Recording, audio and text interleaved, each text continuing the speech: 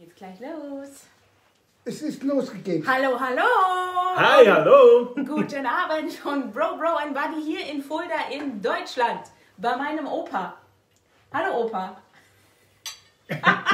Du darfst auch was sagen, Opa. Du bist jetzt voll live dabei. Also, wie wir es euch versprochen Ich weiß ja haben, gar nicht, was ich sagen soll. das macht gar nichts. Wir stellen dir alle Fragen. Genau.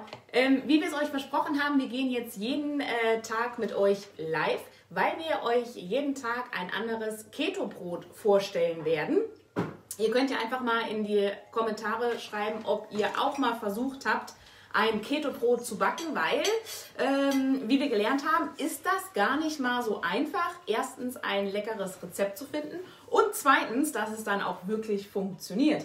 Da hat nämlich äh, mein Bro auch noch ein paar Tipps und Tricks für euch. Genau, dazu kommen wir aber später. Ihr seht, Opa ist schon voll am Genießen. Und was wir euch damit auch zeigen wollten, ist, dass wir ähm, eben, dass die Leute, hallo, hallo, dass die Leute schon früher sich extrem ketogen ernährt haben, also extrem viel Fett zu sich genommen haben und in Form von eben Fleisch, Käse und dann das Brot oder jetzt bei diesem Fall, das ist ein Lieblingsgericht äh, Gericht von Steffi hier, äh, Mitte Deutschland, also Hack, oder? Frisches Ja. Hack gewürzt und wir haben jetzt einfach das normale Brot von der Brotzeit, was ihr sicher von euren Großeltern und allen kennt, ausgetauscht mit Keto-Brot. Also einmal dafür noch das leckere Walnussbrot von gestern probieren und dann haben wir heute noch ein neues gemacht und das Rezept kommt sowieso nachher noch rein. Also, Opa, die erste Frage, wie sieht's aus?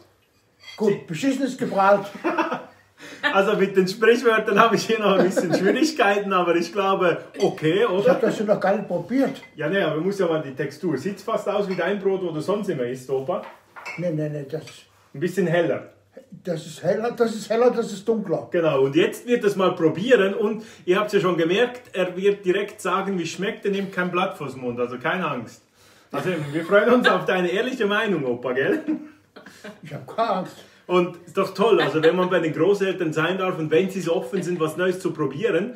Und das Spannende dabei ist, ich zeige es euch schnell, das Brot selber eben, es sieht wirklich toll aus wie ein reguläres Brot, schön auch eingeritzt und ihr seht auch, auch wieder luftig und toll. Jetzt sind wir mal gespannt, also ich dann probieren, dann macht das breit mit ein bisschen Butter und mit dem Hack, Mit dem Matt. mit dem Mett, ja, In, in Berlin auch als Hackepeter bekannt.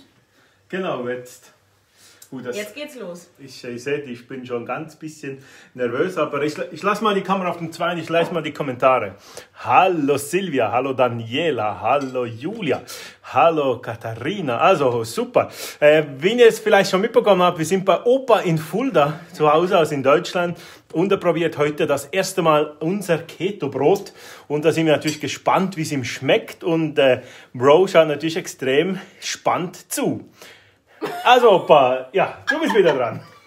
Opa, wie schmeckt's? Ja, durchgedeckt hat er nur halb gedeckt. Da könnte noch Pfeffer oder was hin. So, also es gehört noch Salz und Pfeffer eigentlich dazu, aber wir wollen ja wissen ähm, von dir, wie die Textur vom Brot ist. Also nicht vom, vom Mett mit Salz und Pfeffer, da ist Daniel jetzt gerade noch mal in die Küche gegangen, das verfeinern wir jetzt noch. Aber es geht ja einmal ums Brot. Ja. So ist das richtig, so ist das richtig. Also Geschmackstest Anlauf Nummer zwei. Also ich glaube, wenn er es ja schon nachwürzt und schon probiert hat, dann glaube ich, dass es einen gewissen Geschmack hat und ja auch Munde. Aber wir bleiben gespannt, gell Pini?